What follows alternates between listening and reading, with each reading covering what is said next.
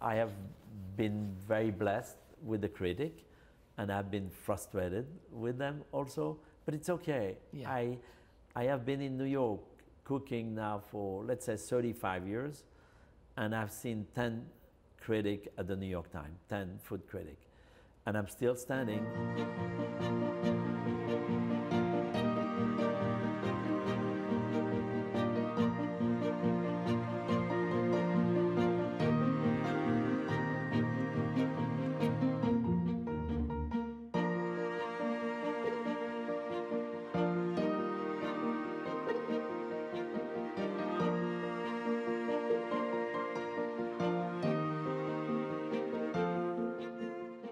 The world of cooking has expanded so much. I mean, 50 years ago in New York City, uh, restaurants were pretty standardized.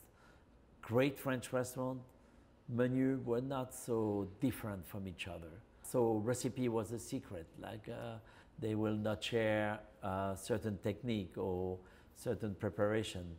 And uh, today, I think we have to be able to share everything, to continue to teach, but continue to create and continue to be different maybe than other. And so I think today you, think, you can take 10 of the best restaurants in New York, they are very different. I want to ask you about noise in a restaurant.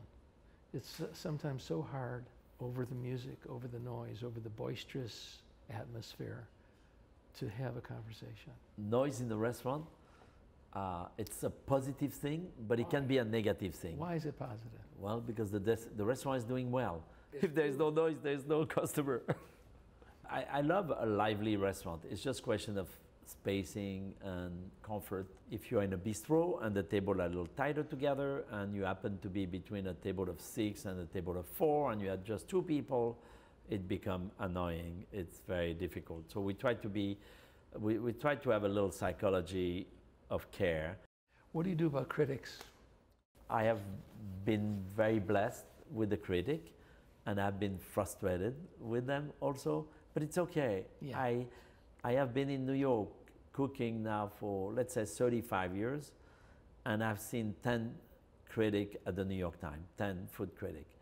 And I'm still standing and I'm still passionate about what I do and I'm still teaching other about the craft. What about uh, chefs that leave you and open their own restaurants?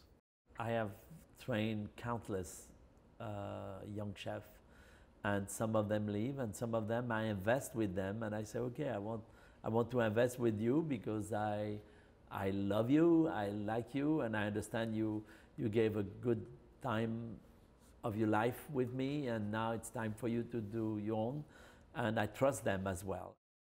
My question has to do with the future. And you have this big restaurant opening up in one Vanderbilt. It's going to be beautiful. It's going to be special, and I think it gives me an opportunity to show another facet of myself and to be able to place a great team there as well and to work in collaboration with them and, and to create something very different than the other.